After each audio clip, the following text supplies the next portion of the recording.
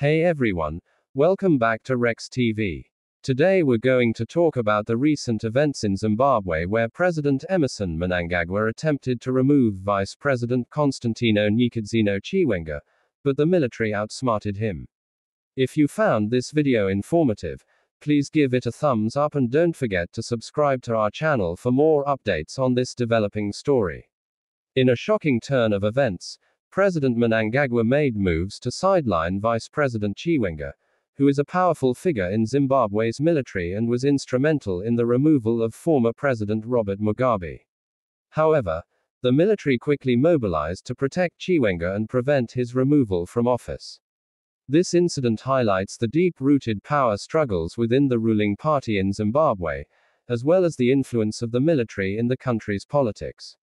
Chiwenga's close ties to the military have made him a formidable figure in the government, and it appears that the military is not willing to let him be pushed aside without a fight. The fact that the military was able to outsmart Mnangagwa and protect Chiwenga demonstrates the complex dynamics at play in Zimbabwe's political landscape. It also raises questions about the stability and future of the ruling party and the government as a whole.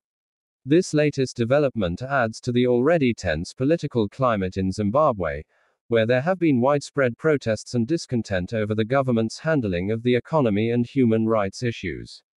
The power struggle within the ruling party only serves to further complicate the situation and create uncertainty for the country's future.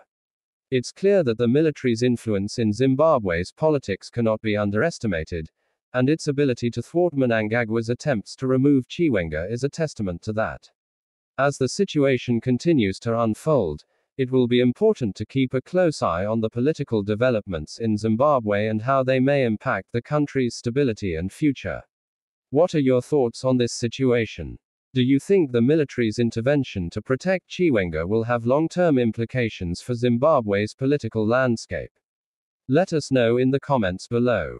Thank you for watching and see you in the next video.